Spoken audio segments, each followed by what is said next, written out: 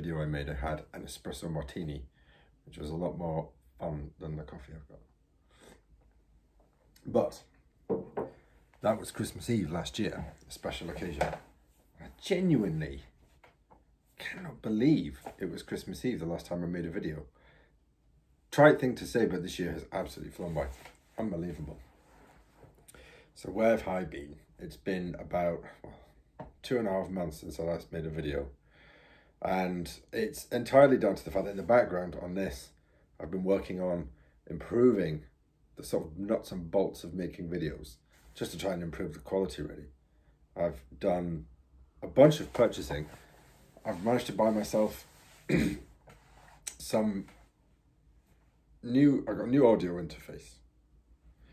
I got a new microphone and I've got a new bunch of lights, which means I now have to try and learn how to use all this stuff.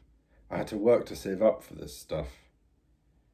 And it's taken time. Two and a half months, funnily enough. Um, but it is all together now. I'm hoping the next video I do, which I'm also working on right now, is going to showcase some of these things. And hopefully you'll see the improvement and realize why I've taken a little bit of time to try and make sure the videos are as good as they can be rather than just keep churning out stuff that's not very good. So it's all a learning process. It's going to keep going. And there'll be fits and starts on this channel, unfortunately, until it really gets going. So apologies, but I hope you'll stick with me because I do have some plans for the channel, which I'll run into in a little bit. And hopefully you'll be in agreement with me that the stuff that I'm going to bring in is going to be worth the wait. So the last video I did, I was looking at... so I'm looking over there, by the way, because the postman has just arrived. And that noise you just heard should be my War Games Illustrated with the free sprue for the new Epic Pike and Shot on it. So that'd be exciting. Where was I? Yeah, the last video, I was talking about a German bolt action 1000 point list I was going to paint over Christmas week was my optimistic assessment. It did take a bit longer than just Christmas week. What I found was that my two-year-old daughter decided that sleep was for losers over Christmas. She hasn't really had her sleep recover properly since then. So my painting time was really badly eaten into and it just delayed everything. So that's been a pain. But the army is now done. It is finished. The 1,000 point German army is completely finished. I've even had a couple of games with it. And as such, I'm doing a sort of a showcase video for the German army. There's been one for the British army already. So it's going to be similar to that, but with the new, new kit and the new techniques. So keep your um, keep your eyes peeled for that one. That's coming soon. But the German army is done. That is the main point. That's the thing I want to iterate to make you aware. I've not just been sat mucking about and doing whatever I want. I have done what I said I would do. So there we are. Because I'm terrible at doing projects. I always wanted to make sure that there'd be one project that I could do. One project, at the very least, at the start of the year, to set me on the road to success. We'll see how that goes. Um, so the future of the channel, I've got a visitor.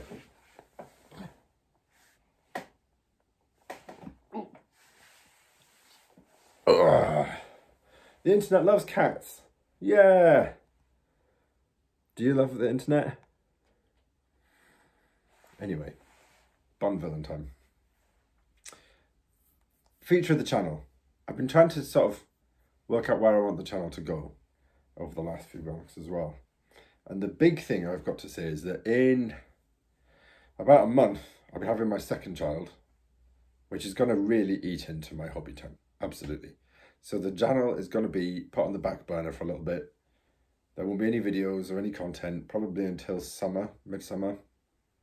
But my aim is to start getting battle reports on the go. We're going to have guests on the go. We're going to have actual segments talk about interesting stuff, and really just try and grow the channel. I always wanted to do the channel as it is a hobby thing, Absolutely it is. But I do want it to be good. And I've got ideas. When I started making videos towards the end of last year, I always felt like they would be sort of practice videos. Just learn what I'm doing. And then I can go on at a later date and start doing it properly. That's what I want to do in summer, start doing it properly. So if there's any kind of content, any hobby content that you would like to see on this channel, that maybe isn't provided by anyone else you think would be a good idea, please do get in touch. Put a comment, put a comment on this video and let me know what you'd want to see, if anything. Otherwise, you're going to be stuck with the ideas I've got going on up here. Might be terrible.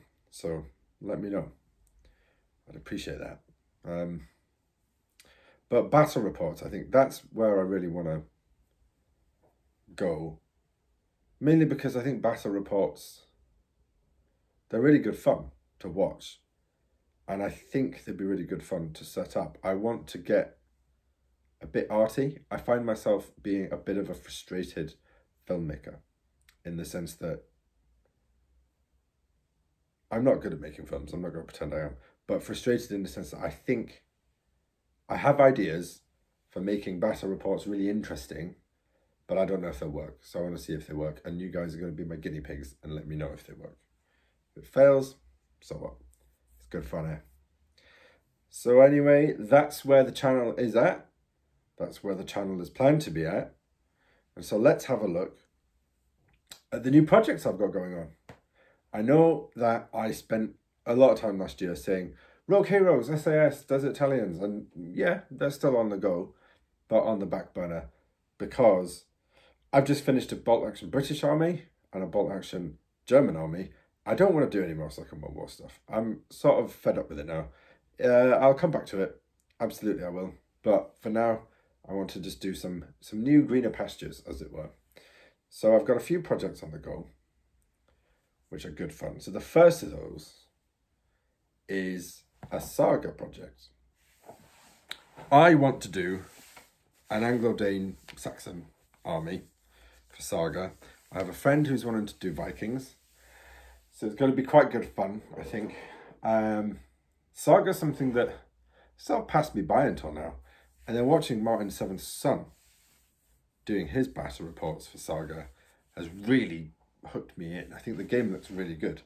It actually look. Uh, sorry, if you see adjusting at the minute, it's because the cat is now there, and he is jumping into what I'm using as a camera stand, which is I expected given I'm using his stool as a camera stand. High tech stuff on this channel. Saga. I think Saga is a really fun little rule set actually. It's nice, you don't need a massive amount of models.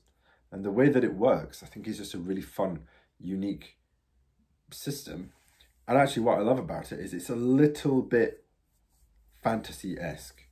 You know, it is literally writing a saga, feats of heroism or what have you, and that just really appeals.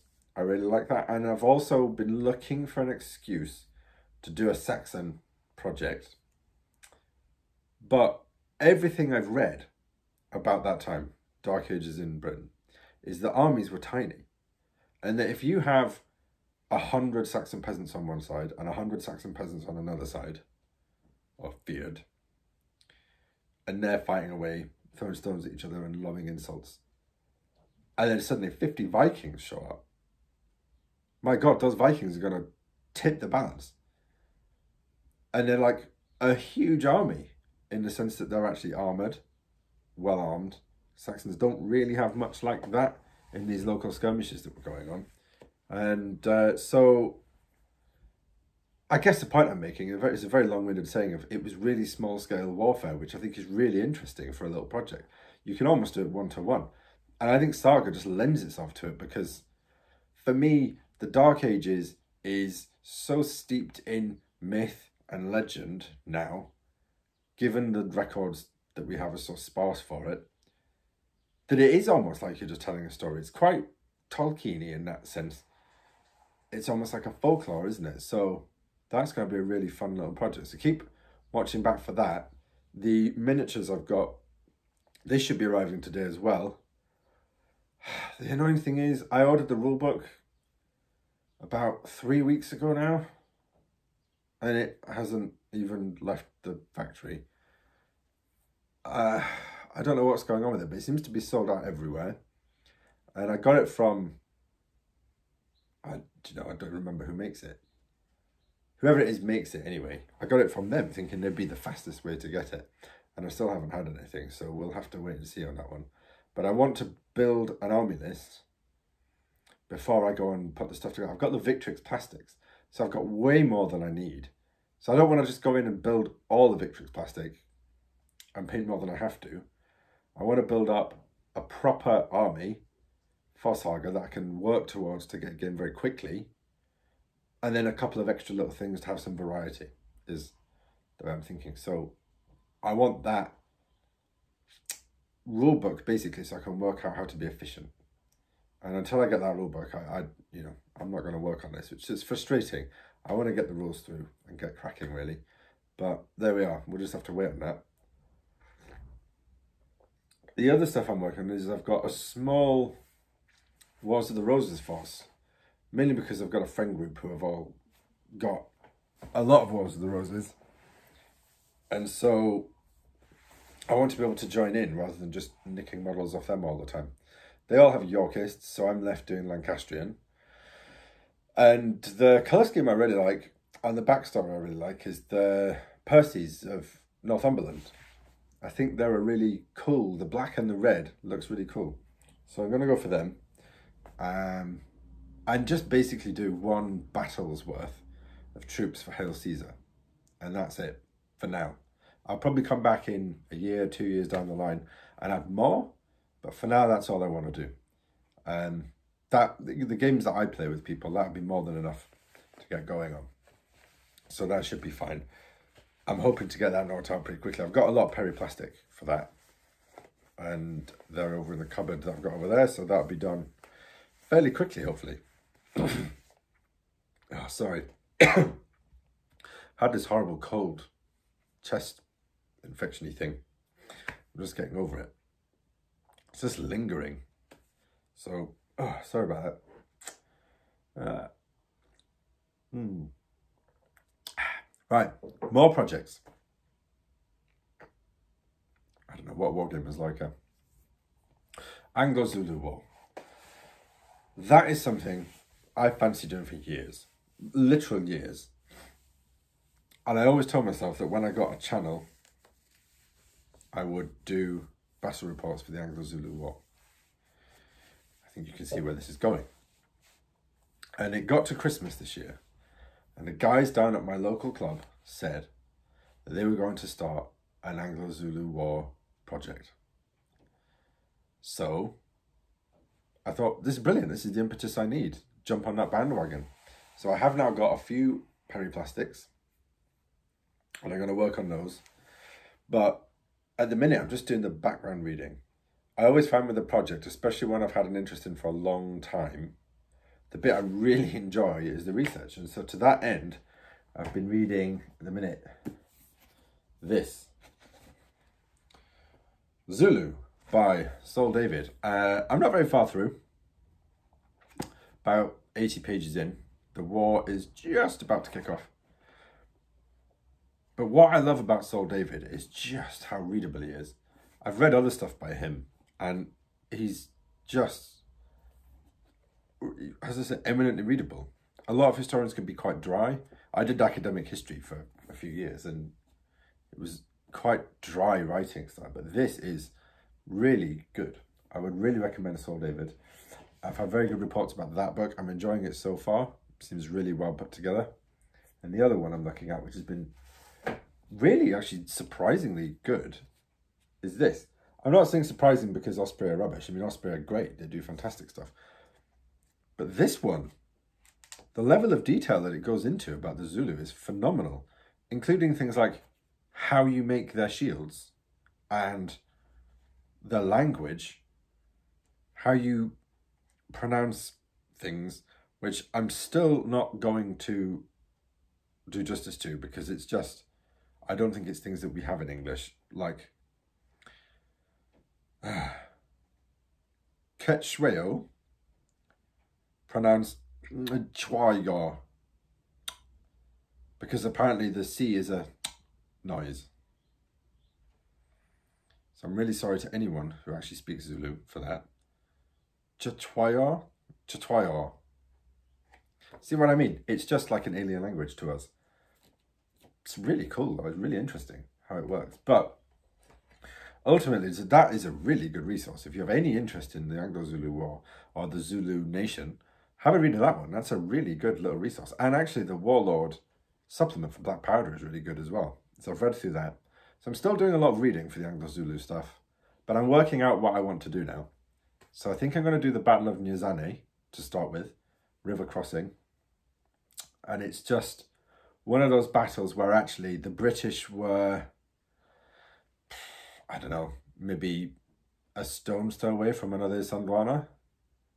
You know, it looked like uh, at Isandlwana, it looked as though the British might hold on for a little bit until the horns of the buffalo closed. And then the British line just then descended into chaos.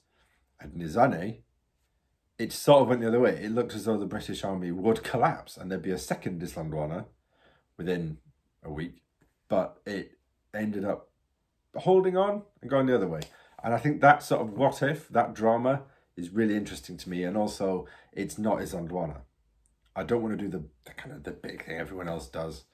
No Rorke's Drift. I, I will war game those out for sure, but I don't want to base my project on those. I want to be different because I'm special. Mm. Uh, so that's my Zulu War project. Really, really looking forward to that one. The other two, there's two more projects.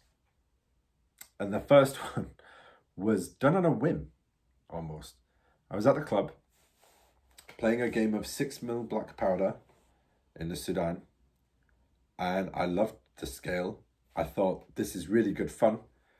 It's not going to replace 28 mil for me, but it's definitely something I'm interested in doing to get the big, big scale battles on the go. Um, but I was thinking, what, what do I want to do? The Sudan stuff is really good, but I want to do Sudan in 28 mil one day what would look good in 6 mil?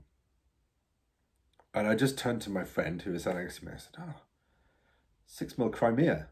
And he turned back and he went, yeah. And so literally that night we were on the Baccus website working out what we'd need to do, what we need to buy to proxy the, the Crimean War. Long story short, I now have from Baccus a 6 mil British army coming and my friend has a 6 mil Russian army coming. So we will very shortly have a six millimeter Crimean War project. Uh, I spent a good, very happy evening, sat down, looking through the orders of battle for the Alma, predominantly because we thought, again, river crossings are always really good scenarios, I think. So we're going to do the Alma, uh, the start. But the thing with the six is you can have so many that, oh, sorry, you can buy so many for such a reasonable price and so many come in the packs that I can basically do Alma almost one for one in terms of regiments anyway, and then still have a lot left over. So really, I'll be able to do the Alma and Balaclava as well, um, which is fantastic. So purchased all that, so I'm going to have the Alma, Balaclava, and with those things, I can basically then do incoming as well. Um, maybe just proxy a few things, but by and large, being just the Crimean sort of expeditionary force as it was, I've almost got the whole thing, so I can wargame what was there and wargame what if scenarios, and that is just really exciting. I'm really looking forward to that. Naively, I have it in my mind that painting a six mil army will take about a week. I've never done six mil ever. So as I said, probably very naive, but I think about a week. Um, and I'm thinking that actually the way you paint has to change. And I'm thinking really bright colours because otherwise they're just going to become blended in among one another. So they've got to, they've got to stand out on the tabletop. So bright colours and the basing has to be different. I can't use the normal sand I use because that's just going to look like huge rocks and boulders and that's just not very good. So it's causing me actually to think about projects in an entirely new way, which is really good fun. I'm really enjoying getting into that aspect about it. And it's really forcing me to think a bit outside the box and think creatively. And I think it's made me realize that for a lot of my projects, I've been, if not stuck in a rut, recycling the same ideas for a lot of different projects in slightly tweaked just for the different settings that they're in but ultimately using the same methods of painting same method of basing for sure and that's just it's just refreshing to finally have a project that's forced me to change that and start doing something else and a bit more bit more out there and a bit more interesting so that's something i'm really looking forward to i'm just waiting for Baccus to make the miniatures now and then they're going to arrive at my friend's and then he's going to have to come around here and drop them off because presumably I'll have a small child at that time eating up all my spare time. So that'll be good fun. And then lastly, but certainly not leastly, I've got something of a nostalgic passion project, shall we say. Um, and that is